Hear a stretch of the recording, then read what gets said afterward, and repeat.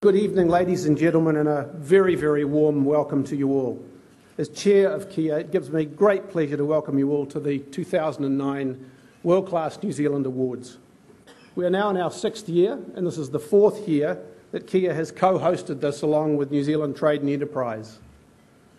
Tonight is a celebration of success as we together recognise world class talent and acknowledge individuals that characterise New Zealand's success.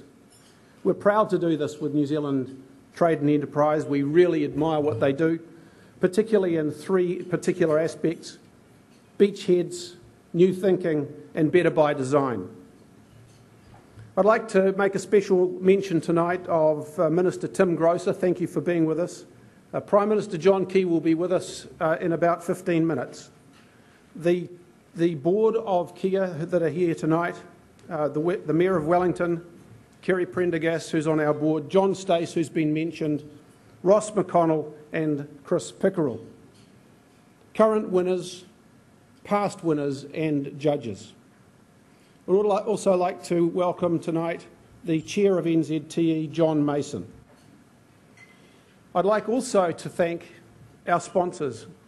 Tonight's evening would not have been possible without them.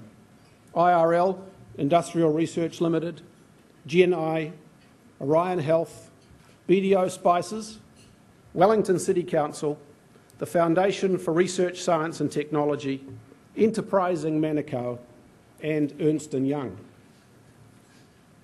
We are here tonight to celebrate the best New Zealand can offer on a world stage. For a small, small nation, we certainly pack a big punch internationally. We founded Kea in 2001 after the two Knowledge Wave conferences. We founded it on the name Kea because of the, uh, the bird. The bird, we, we believe, epitomises New Zealand. Number one, it's a particularly beautiful bird, like all of us here in the room. But also, it epitomises New Zealand because it's plucky. It's got courage. It, it's, it's got confidence. And it's one thing that we need as a bunch of Kiwis here in 2009 is the courage of the Kea bird.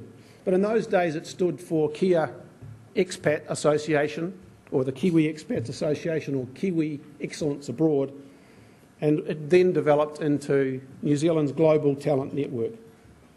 Obviously we couldn't keep all our best and brightest people in New Zealand. And so we had to find a way of keeping them connected to New Zealand. As you've heard, one in four skilled New Zealanders live offshore. It's the only two things that we top the OECD in. Number one, the number of expats living outside our country. And number two, the number of highly skilled, highly paid expats living outside our country. We need to leverage that. Kea is a global community of 25,000 Ki Kiwis offshore and it's growing. The World Class New Zealand Network is a special group within the Kea network.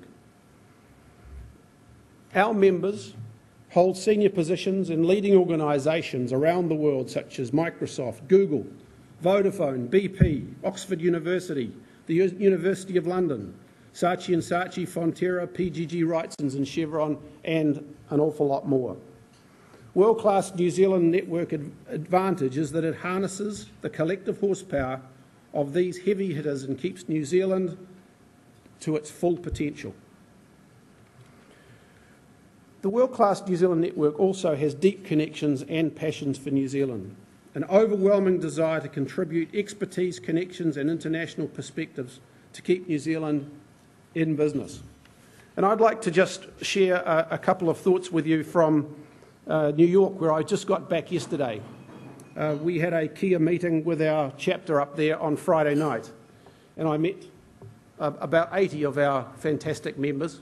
And one of them told me about a week ago, he and one of our other Kea executives walked into a New York bar and saw a guy sitting on a bar stool and thought, hmm, he looks a bit like a Kiwi. And sure enough, when he went over to him, he was. This chap was travelling to the United States and he had a business for uh, an in-store program for a, um, a group called Athlete's Foot. Uh, that's a shoe chain over there, not a disease. and when asked uh, what he needed, uh, he said that he was in the sports beverage related business. So these guys said to him, Listen, we can make some connections to you to some great New Zealanders. We know the head of Footlocker, the chairman, he's a member of Kea. We know the head of worldwide marketing for Coca Cola, he's a member of Kea. We know the worldwide head of marketing for Gatorade, which is a division of Pepsi Cola. She's a woman member of Kea. We also know the head of PepsiCo. He's English, but he's a great friend of New Zealand, and in fact, I coach his son in a rugby team, was relayed. This guy was absolutely blown away. And what it actually proves is the strength of our network. We have a fantastic searchable database. You can all go on it. All you need to do is look for the particular vocation of the people that you want some advice from anywhere in the world, and they are available to you. Now, another fantastic example of the world class New Zealand network. Tonight we have with us one of our awardees, Craig Nevill-Manning. Craig is a winner of one of tonight's awards particularly low profile New Zealander. To cut a long story short, he met the founders of Google when studying at Stanford, and after they asked him, and then they asked him to join Google way back in 1993. He is now the Director of Engineering of, Go- of Google in New York City. Can you imagine the experience Craig has gained over that time?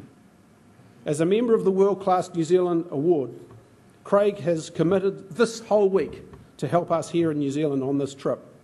He's provided advice and guidance to some of the established and early stage New Zealand businesses and has had meeting with government departments. Thank you, Craig. You're a true world class New Zealander.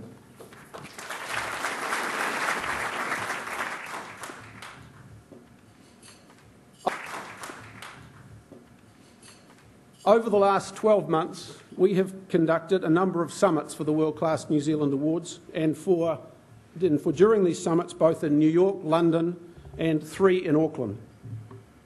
The World Class New Zealanders can help in many, many ways. They are prepared, when asked to help, by sitting on New Zealand boards, to provide advice to government ministers, to assist with major research studies, in, in specific sector related advice, and elite individual mentoring. Today's summit, which was held this morning across the road at the Northern Club, we had 80 participants from our network. We focused on identifying who within the New Zealand world class network and what and how will keep New Zealand and help New Zealand using their international connections and influences. We discussed education as a key export earner. Auckland as an international city, New Zealand business opportunities around the World Cup, SMEs to help survive in the recession, to help New Zealand meet the challenges of the current global economy, and to support the Prime Minister's priorities in the Job Summit. And lastly, uh, what I would like to say is just how passionate Kea, Kea people are around the world. I've now been travelling in my business career for over 30 years and I've met a huge number of New Zealanders in, all, in very, very many places. And the one thing they all possess is a magnificent passion for our country. And when you go and tap a Kiwi on the shoulder in another country, they're always willing to help.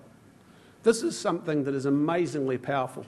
Uh, we've been conducting a survey recently, and the sort of anecdotal advice that we've been getting back that we can't report because it's private, it's between two individuals, and we don't want to get involved in the transactions for legal reasons, but we know of instances where $10 million has been raised for New Zealand businesses on one instance, huge amounts of mentoring, massive amounts of business transactions, and doors open. So I really commend to you Kea and the World Class Business Awards. Now, you probably be asking yourself, what can we do as individuals in this room? One thing you can do is go back, take a look on the website, www.kea New Zealand, that's spelt the whole New Zealand, dot com. All of you are eligible to join, and we'd love to have you with us. And the other thing is, it takes money to run this venture. Uh, a number of you in the room are sponsors of Kea, but we need more sponsorship, and we'd be very grateful. In fact, I'd be very grateful. You can get hold of me at any time, day or night. I'll accept your phone calls, but we're looking for more sponsorship, and we'd love, love to hear from you. The last thing I'd like you to do uh, before I run a video for you is to please stand and drink a toast to the greatest little country on earth. New Zealand, Aotearoa.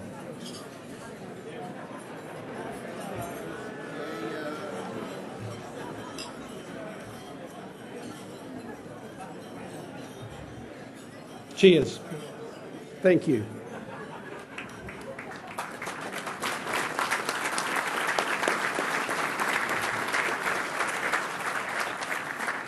So, how do we attract more Kiwis? Well, one of the ways is online.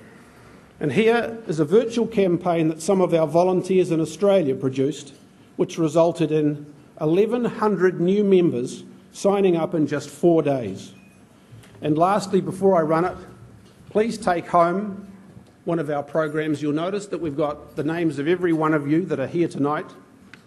Uh, tonight is part of networking, and we hope that uh, when the formal part of the evening's over, there may be somebody on this program you want to see or meet.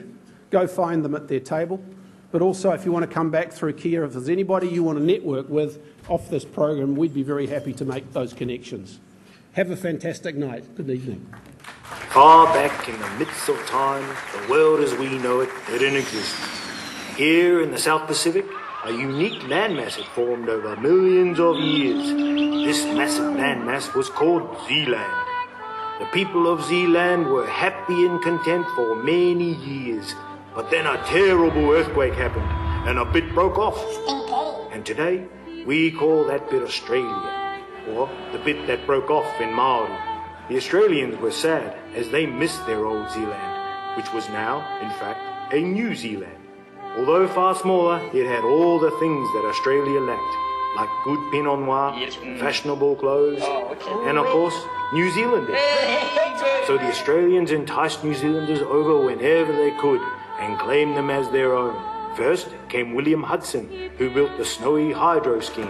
Then came Phar Lap, Australia's wonder horse. And they were followed by many other New Zealanders, including Reg Mombassa, Sam Neill, John Clarke, Keith Urban, Fred Hollows, Jane Campion, Crowded House, Colette Dinnigan, and Russell Crowe. Okay, maybe they can keep Russell Crowe, but who could forget Anzac Biscuits and Pavlova, both from New Zealand. But now we want to claim our New Zealanders back and put them in touch with each other.